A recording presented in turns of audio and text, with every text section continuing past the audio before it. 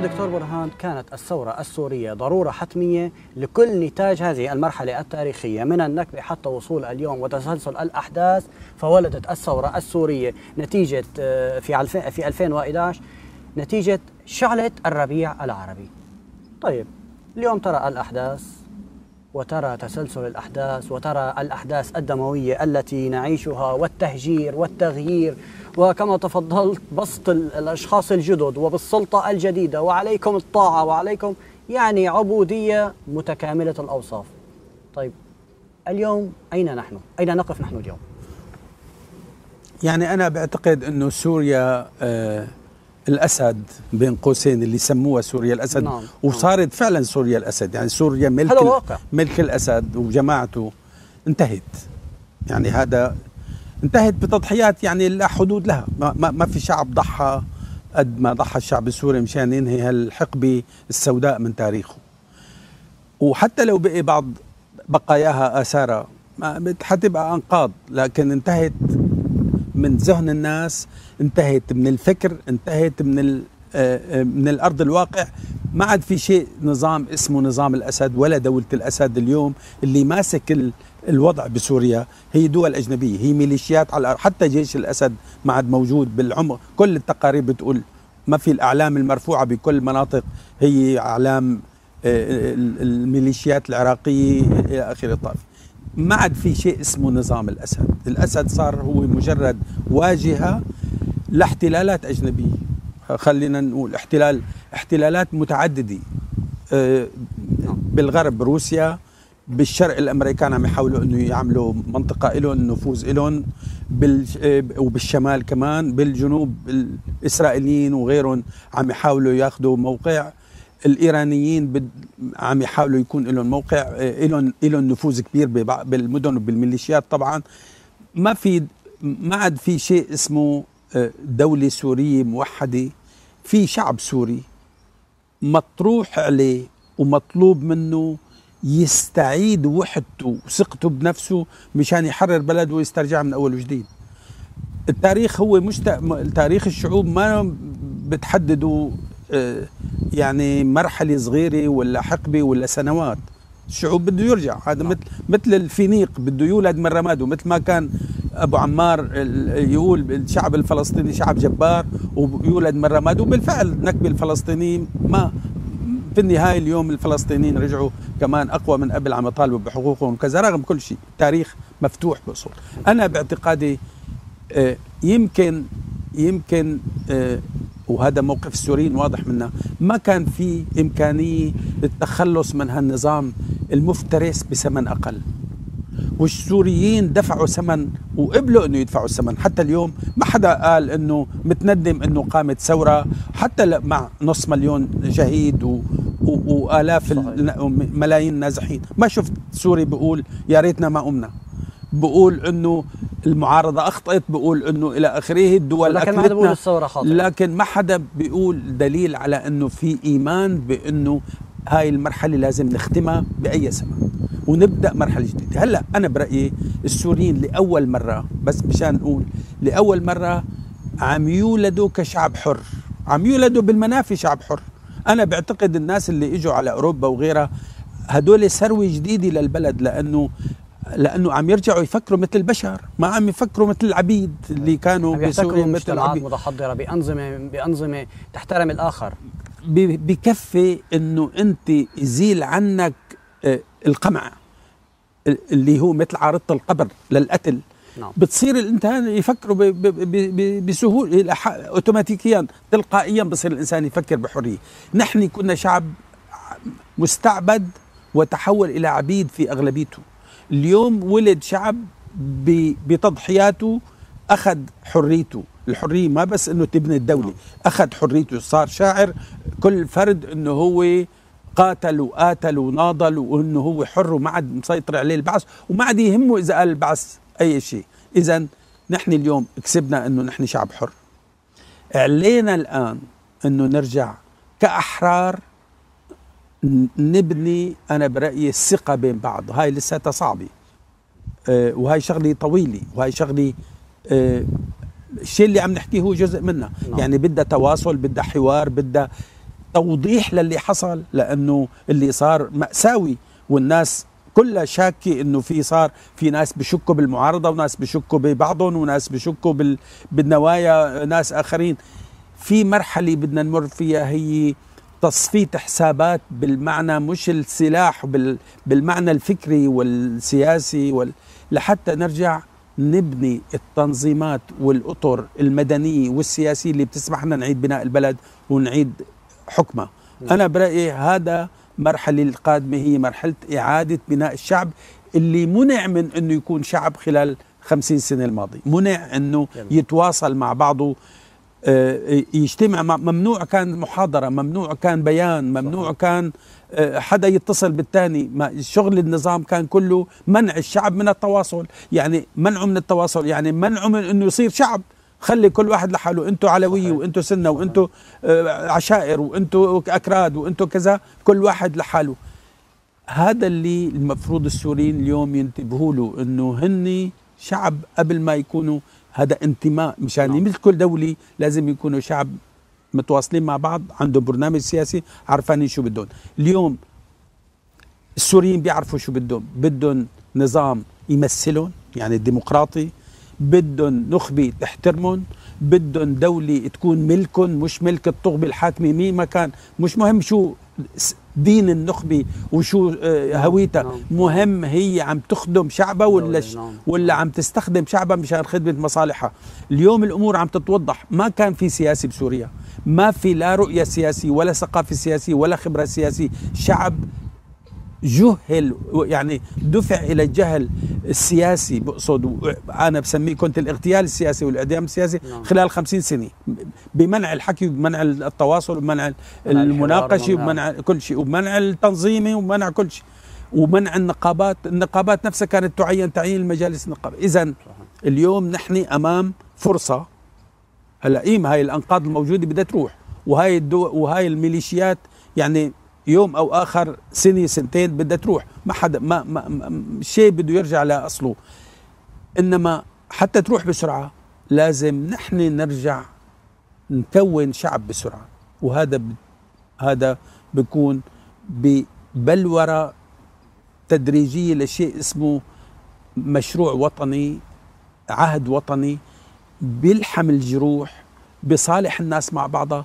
بشوف بالفرد سوري وطني مواطن حر قبل ما يشوف فيه لا مذهبه ولا عقيدته وكذا. بدنا بدنا أول شيء يعني نلأم جراح الحرب. بدنا نفتح أفق لسوريا مختلفة كليا. وهي شغل المثقفين. بدنا نبني أطر سياسية تنظم الناس لأنه ما في عمل بالسياسي بدون قوى منظمة.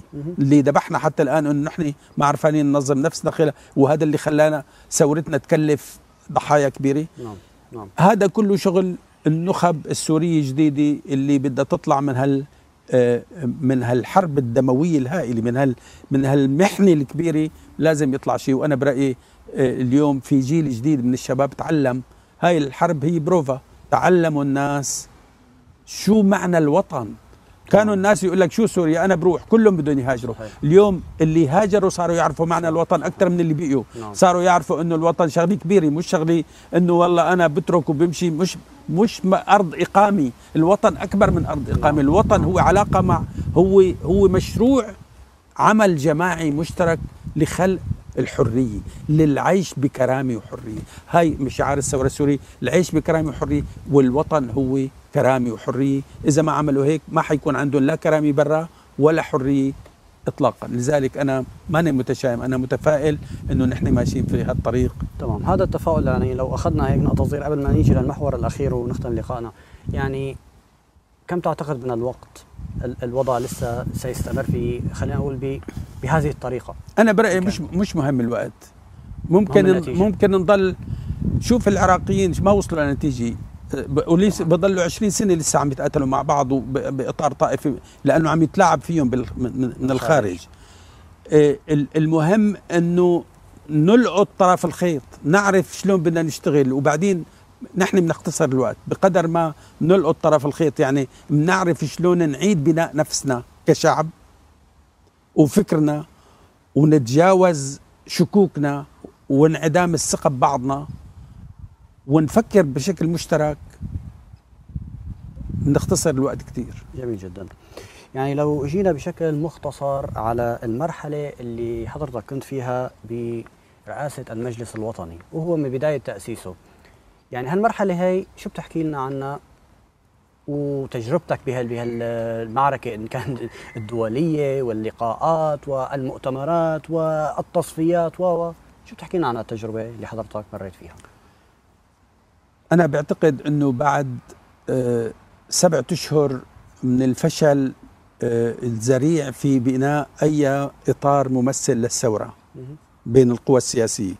تذكروا المؤتمرات إسطنبول وبروكسل وإيطاليا وإلى آخره. كلها انعقدت مرة واحدة وفرطت. هذا دليل قد كنا مفككين. والاتفاق والفشل الاتفاق بين الأطراف الداخلية ما كانوا يقولوا كمان في معارضة داخلية إعلان دمشق وجماعة اللي كان اسمه التجمع التقدمي اللي طلع بعدين هيئة صار اسمه هيئة التنسيق. كمان فشل بعد سبعة أشهر مفاوضات فشلوا إنهم يطلعوا باتفاق وجبهة وطنية. كان تكوين المجلس الوطني أهم مبادرة وأهم آه، آه، نجاح سياسي حصل بالنسبة للمعارضة السورية بهذيك الفترة. أنا هذا اعتقادي. حسنا بعد بجهود متواصلة إنه نجمع أكثر أطراف المعارضة ونخلق إطار مقنع ما بس للشعب مقنع للدول. نعم. والشعب كان مقتنع فيه والمجلس الوطني يمثلوني كان أحد الشعارات المظاهرة. هذا الجماعة. وبقدر ما كان آه، ممثل للشعب يعني أو تفاعل الشعب مع المجلس لأنه شاف إنه في يعني حسيته في عندكم شرعية من الداخل. في أفق لكن ولا وبعد ما بعد فشل كل المعارضة طلع آه، إطار مقبول نسبيا. ما ما بدنا نخترع نعم. يعني نجيب بشر من برا. طبعا هدول هن نفسهم. بس حسنا نجمعهم على أرضية فكرية وسياسية مشتركة وكذا. نلنا نلنا مصداقية في العالم في في النظام بالعالم في الخارجي وأخذنا مك هي المكاسب الوحيدة اللي حققناها قرارات بمجلس الأمن ولو إنه اعترضوها الروس لكن كان في وراها الأغلبية ساحقة من أعضاء الأمم المتحدة قرارات بالجمعية العامة للأمم المتحدة 140 دولة أدانت النظام وأيدت المجلس الوطني. آه، تشكيل أصدقاء سوريا ولو بعدين ما ما عرفوا يشتغلوا لأنه كمان نحن مسؤولين عن عدم تشغيلهم. بقصد كل الأطر كل المكاسب السياسية والدبلوماسية حققناها بهذيك الفترة ودعم نسبي للمعارضة. أنا بعتقد إنه آه، المجلس كان تجربة مهمة. ليش؟ لأنه حسنا نتجاوز كل التناقضات اللي سعرها النظام من قبل إسلاميين وعلمانيين وطوائف وأحزاب كله اجتمع مع بعض. رج للأسف نجح ما بس النظام عيوبنا نحن اللي لساتنا نعم. ما كنا متحررين. رجعنا بقلب المجلس أعدنا تفجير نفس التناقضات اللي كانت عم تعيق تشكيل إطار وطني جامع. فصرنا نتقاتل على المحاصصة وصرنا نتقاتل على المناصب وصرنا نتقاتل آه، مين دوره اليوم يصير رئيس رجعت أمراضنا التاريخية وبالحقيقة أنا مراجعاتي للتاريخ هاي مش أمراض جديدة أمراض تاريخية إنه كله بده يتزعم وكله بده ياخذ دوره وكله حتى أحد اللي كانوا أعضاء بالمكتب التنفيذي واللي مشاركين أساسيين في المجلس الوطني كان يقول إذا أنت بدك تمدد ثلاث أشهر ثاني آه، إمتى بده يجي دورنا؟ يعني كان هذا بدل على ثقافة سياسية هزيلة جدا. طبعا ما أنا موجود. أنا بقول إنه خسرنا بتقو... بإجهاض المجلس الوطني. أنا بقول إنه صار في إجهاض المجلس الوطني. مش لأنه أنا تركته لأنه أنا تركته لأنه آه، آه، يعني أجبرت وقت اللي شفت النزاعات الداخلية والصراعات على شيء وهمي بدل خدمه القضية ما عاد له معنى. أنا بعتبر إنه آه، اغتيل المجلس الوطني واغتيلت معه المعارضة السورية والقيادة السياسية للثورة ما عاد ما عاد صار في قيادة للثورة يعني صارت قيادات مت مش صار قيادة نوع من الهزل صار نوع من القاده الهزلية إلى حد ما. فلذلك بعتقد إنه المجلس الوطني كان أهم تجربة سياسية قمنا فيها. وكان مستقل وكان بإرادة السوريين وحدهم بالمعارضة.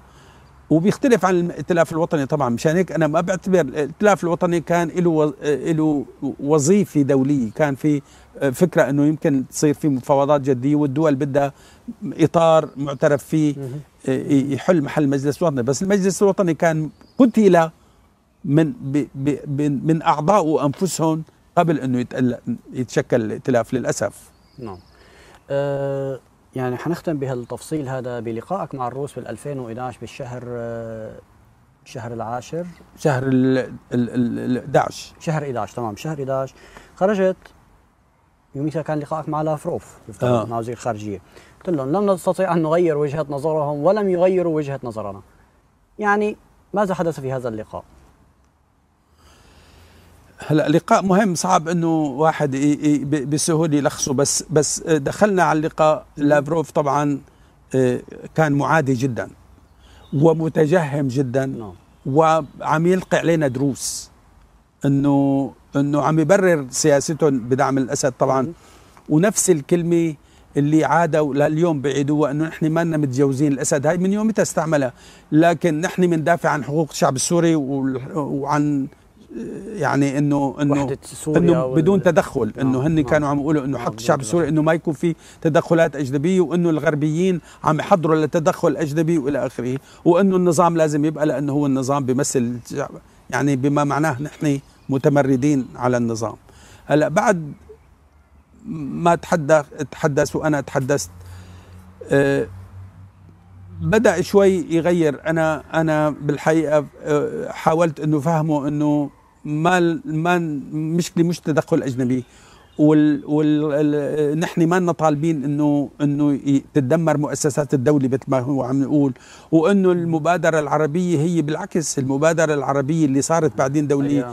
بتقول إنه في ضمانات لكل الطوائف في ضمانات لكل السوريين لأنه ما حندمر الدولة مثل ما صار بالعراق ونحلها حنكون في مرحلة انتقالية يشارك فيها أطراف من النظام ما لوثوا ما لوثت يعني ما ساهموا بالقتل وبهديك الأيام كان لسه في صحيح. إمكانية للحديث صحيح. عن هالشيء وحتى إذا كان فاروق الشرع ولا نائب الرئيس بحسن يقود المرحلة الانطلاق الانتقالية ما كان عندنا مانع. يعني مالنا نحن مع تصفية يعني الأرض. كنتم مادين ايدكم لاي حل يحقن مش حرق الأرض. تم ويعمل هذا الانتقال السياسي السلمي تماما. ومن يومتها ويومتها كمان آه، وقلت له إنه نحن آه، لا اللي صار أهم من هيك عم عم يحكي هو عن الغرب وأنتم الغرب وكل خطابه ضد الغرب.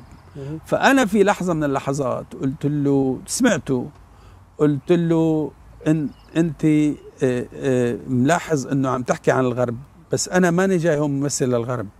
أنا هون جاي ممثل لشعب. طول عمره كان ضد السياسات الغربية. وأنا نفسي شخص بحياتي ما كنت مع الغرب. أنا ناقد للسياسات الأمبريالية والغربية وأنا يساري بالمناسبة وإلى آخره. فنحن ما جايين ندافع عن الغرب. إذا عندكم مشكلة مع الغرب حلوة مع الغرب. ما تحملوا الشعب السوري مسؤولية نزاعكم مع الغرب. نحن ما عندنا مشكلة معكم ونحن جيشنا بيتسلح من عندكم وأنتم بتدربوا ونحن عندنا صداقة طويلة ونحن بحاجة لكم آه، وما بدنا نقطع علاقاتنا معكم. إذا أنتم ما ما ما بدكم إيانا نحن بدنا إياكم لأنه نحن الشعب السوري شعب بحب الاستقلال وبحب ما يكون يرمي بيضه كله بسلة وحدة ونحن بدنا علاقة متوازنة بينكم وبين الغربيين لأنه هذا بتسمح لنا إنه يكون عندنا هامش استقلال أكبر وإلى آخره.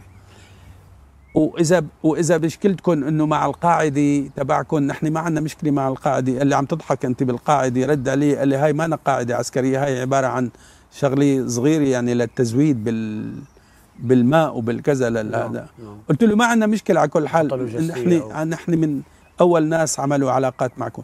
يعني المهم أعطيته فكرة إنه نحن متعاونين نعم. مع هذا.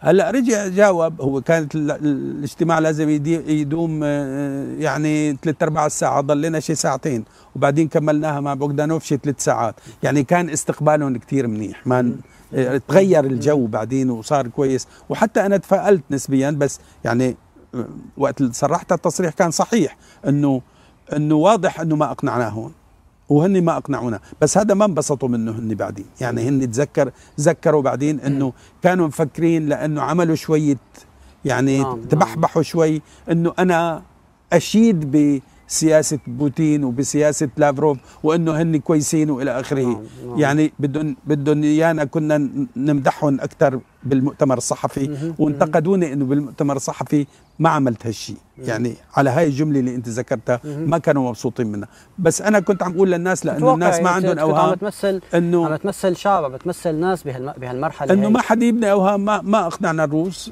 بس إن شاء الله بالجلسات أخرى بعد شهر شهرين زرناهم كمان مرة ثانية يعني نحن كنا مراهنين على الروس بمعنى نخفف شوي من تأييدهم للأسد. ما كان عندنا وهم أنه حيجوا معنا. بس أنه إنه وحكينا بالموضوع إنه ال ال ال الفيتو الدائم حق النقد على القرارات بتعني حماية المدنيين ولا تخفيف الضغط على المدنيين من قبل النظام. كنا متأملين إنه الروس يعني يشتغلوا فيها شوي. هلا أنا اللي اخذته من هالانطباع وقلته للغربيين يومتها الدبلوماسيين آه، قلت لهم في النهاية طلبات الروس ما عنا. قالوا لي وزراء بأوروبا إنه شو بدهم الروس؟ لأنه كنا نتشاور شو. قلت لهم اللي بدهم إياه الروس مش عنا عندكم. نحن ما عم نحسن نعطيهم مشان هيك صعب إنه نقنعهم. هن بدهم مصالح بأوكرانيا كان عندهم مشاكل كثيرة مع العقوبات ومع عقوبات والى آخره. فعندكم أنتم فرصة يعني في إمكانية إنه إلى جانب الضغط اللي عم تشك اللي عم تعملوه عليهم بالعقوبات في شيء إمكانية تفتحوا حوار معهم؟ قالوا لا. فانا عرفت إنه ما ما ما ما في امكانيه ما في إمكانية لتطوير العلاقات مع الروس. خلاص هن آخذين سوريا رهينة. أنا فهمتها من أول لقاء. آخذين سوريا ورق الضغط على الغربيين. إنه هون مسكناكم لعد ليبيا مسكتونا بليبيا ومسكتونا بالعراق. اليوم نحن مسكناكم هون. هلأ بدكم والدليل, والدليل التدخل العسكري الواضح الصريح بكامل قوة روسيا العسكرية ولليوم في لليوم سوريا. الروس موقفهم سوريا مش مهمة بذاتها. في إلى أهمية بس إنه هاي بيعرفوا إنه إمتى ما بدهم. قلت له أنا إذا آه، آه، قال, قال لي نحن قواعد شو ما بت ما لنا بحاجة لها هلأ هن بحاجة إلى صار طموحاتهم زادت بالنسبة للغربيين. لكن لليوم أهمية سوريا بالنسبة لهم هي بالضغط على الغربيين بمعنى إنه من سوريا هن صار لهم موقع بالمشرق بالشرق الأوسط كبير كثير ومن خلاله بحسنوا يناوروا مع الغربيين مشان ياخذوا آه، يحققوا مصالحهم بأوروبا بشكل أساسي هن بأوروبا بالدول البلطيق وبأوكرانيا وبالب... نعم. يعني بعدة نعم. مناطق نعم. يعني صراحة الموضوع له تشعبات وله تفرعات كبيرة. صراحة دكتور برهان بنشكرك بنهاية هذا اللقاء اللي فعلا رائع واللي فعلا كان يمكن عبارة عن عن مر عن سرد مرحلة تاريخية كاملة وتحليل وتحليل آه تحليل المرض من بدايته حتى نهايته. وإن شاء الله مثل ما تفضلت بتوحيد الناس توحيد السوريين وبلورة المثقفين ووصول الطبقة فعلا المثقفة لحتى تقدر تثقل فئة الشباب وفئة فئة السوريين. إن كانت الطبقات العادية والطبقات الأفضل لحتى فعلا يوصلوا لمرحلة الوطنية. مرحلة الوطنية هي اللي حتوصلهم لمرحلة فعلا أنه يوصلوا بالثورة. للشيء اللي هن انطلقوا فيه اللي هو الشعب يريد إسقاط نظام الأسد.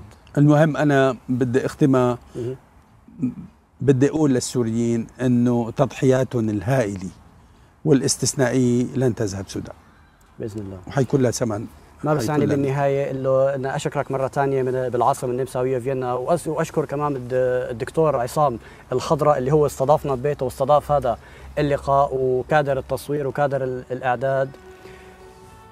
مشاهدينا متابعينا نشكركم لهذا المتابعة مع الدكتور برهان غليون في زيارته القصيرة هنا في العاصمة النمساوية فيينا.